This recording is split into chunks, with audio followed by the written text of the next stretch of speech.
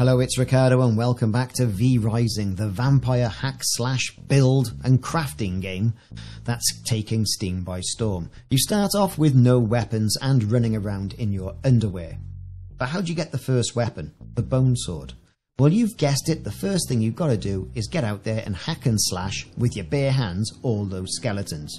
Once you've done that, you'll get a little flashing claim box, and that'll be at the top of the screen. You can see it flashing right there now. Once you're in a safe area, you can click claim, and that will imbue your character, who's running around in their underpants at this stage of the game, the blueprint to create a bone sword. Now, you're going to need 30 segments of bone, or you're going to have to kill three enemies and pick up three sets of bones, which are multiples of 10. You've guessed it. Now, find a space that you're not going to get attacked by anyone naughty, click that claim button, and then you'll unlock that crafting recipe for the bone sword. No problems. Then go into your inventory by hitting the tab key, and then click crafting and then bone sword. 10 seconds later, 30 bone segments will be deducted from your total, and you'll be given a slashing bone sword.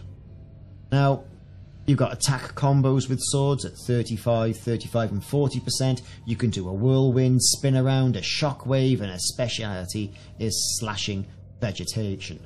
The sword is a great all-rounder, and its high attack speed really makes it ideal for vampire builds that are focusing on critical strikes to enemies.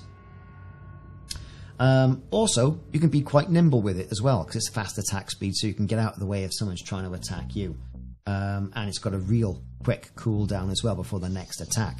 So the bone sword, everybody, it's your first weapon, and it's a it's quite a powerful weapon for the in regards to killing the early on monsters. Good old fast attack speed. Let's talk about rats while we're on the subject. You see me pick up a couple of rats uh, on the screen as well, and you can see me there chopping some plants down to get some plant fiber.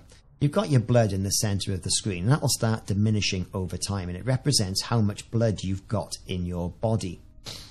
So think about that as your life force. And then on the left hand side, you've got hit points, right? And you can see mine are decreasing because uh, I'm getting hit. You can change your blood into hit points, and we'll cover that in another video. So it's very important. Not only do you have a look out for picking up bones, but also picking up the rats as well by pressing F and then selecting the particular rodent by pressing number one to then drain the rat of its blood.